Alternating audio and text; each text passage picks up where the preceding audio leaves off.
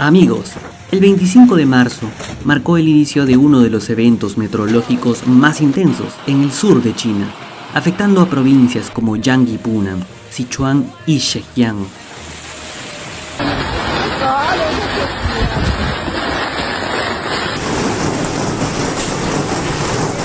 Las calles tranquilas de Hangzhou hasta las tranquilas zonas de Jinhua un fenómeno devastador llegó con fuerzas naturales que pocas veces hemos visto.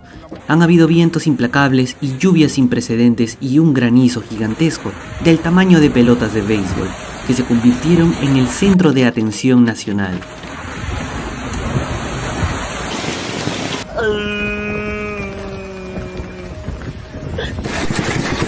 Esta tormenta alimentada por la colisión de aire frío y caliente creó un escenario apocalíptico habían tormentas eléctricas severas y una destrucción sin igual.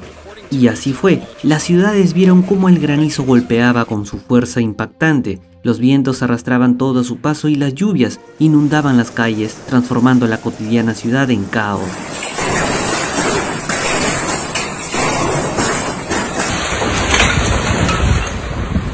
La furia de la tormenta no discriminó, habían infraestructuras dañadas, árboles arrancados de raíz y el colapso de muros y puentes, que evidenciaron la magnitud del desastre.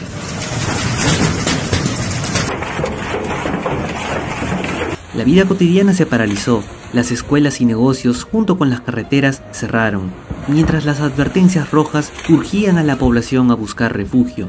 Pero este evento va mucho más allá de la destrucción material ya que ha causado un impacto económico también en la zona local, especialmente en la agricultura, donde la tormenta devastó todo.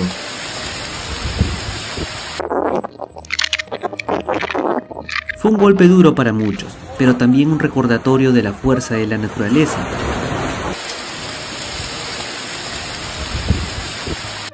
Esta tormenta que ha ocurrido el 25 de marzo en China no será la última, pero cada vez estos eventos climáticos están mucho más fuertes.